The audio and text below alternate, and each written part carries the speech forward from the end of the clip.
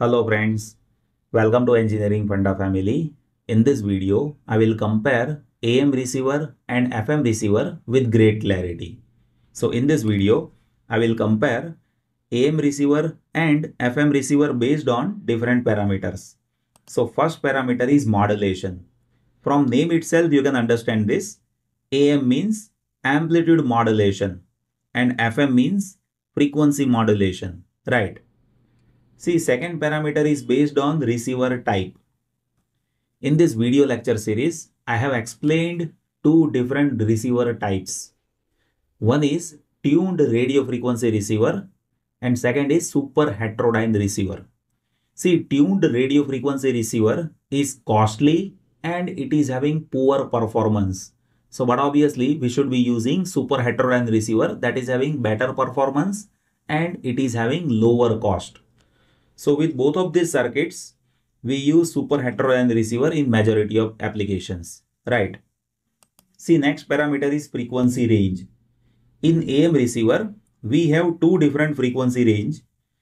One is there from 530 kilohertz to 1650 kilohertz. That usually we use it with AM broadcast. And second frequency range is there from 3 megahertz to 30 megahertz, where there are so many applications that I'll discuss at last. While with FM receiver, we have frequency range from 88 MHz to 108 MHz and this frequency range that usually we use it with FM broadcast, right? See next parameter is message bandwidth. You need to understand this. See in AM receiver, we have amplitude modulation. With amplitude modulation, bandwidth will be 2 times of message signal frequency. With voice communication, message signal frequency will be up to 5 kilohertz. So usually with AM receiver, 2 FM means 2 into 5 that will be 10 kilohertz, right? While with FM, we have bandwidth as per Carson's rule where we need wider bandwidth, right? Always remember this, frequency modulation needs more bandwidth amplitude modulation needs less bandwidth. With FM receiver, bandwidth will be of 200 kilohertz, right? That will be way higher compared to AM receiver. See here, RF amplifier is required or not. RF amplifier usually will be low noise amplifier. In AM receiver, that is optional, while in FM receiver, that is mandatory, right? See next parameter is based on IF frequency. IF frequency means intermediate frequency. One should know in super heterodyne receiver, we do frequency conversion two times. First of all, we receive RF signal. That RF signal is converted into intermediate frequency by first detector. That intermediate frequency that is getting converted into message signal by second detector. So here with AM broadcast which is there from 530 kilohertz to 1650 kilohertz. Intermediate frequency is 455 kilohertz. While with FM broadcast which is there from 88 megahertz to 108 megahertz, intermediate frequency is 10.7 megahertz, right? And one more thing that one should know, if you have higher intermediate frequency, then receiver can reject image frequency right. So based on this range both of these intermediate frequency are sufficient enough. See next parameter is sound quality. But obviously one should know am signal means amplitude modulated signal. That is always having poor quality of modulation. Right. The reason is it is prone to noise. While with frequency modulation we have good noise immunity so, but obviously you will be observing with FM, we have superior quality of sound compared to AM signal, right? Now let me discuss about next parameter that is noise immunity. As I have told you, AM signal that is having poor sound quality as it is based on amplitude modulation.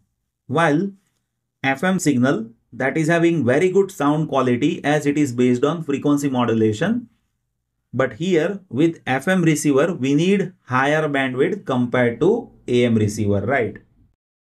Now let me explain next parameter that is capture effect. First of all, you need to understand what is capture effect. See, capture effect means as and when receiver receives two signals which are having nearer frequencies. At a time, receiver should be able to reject weak signal and it should be able to accept strong signal. So if you talk about AM receiver, then in that capture effect is not significant. The reason is AM receiver cannot separate two signals which are having nearer frequencies. But in FM receiver, one can reject weak signal and one can accept strong signal. So capture effect that is noticeable in case of FM receiver, right? So it is strong and noticeable in case of FM receiver. Now let me discuss about next parameter that is selectivity. One should know selectivity is based on quality factor of receiver, right? Quality factor is center frequency divided by bandwidth. If we have wider bandwidth, then one can say we have better quality factor. So usually you will be observing selectivity is moderate with AM receiver and it is good with FM receiver. The reason is with FM receiver we have wider bandwidth. Right. Now let me discuss about next parameter that is signal penetration.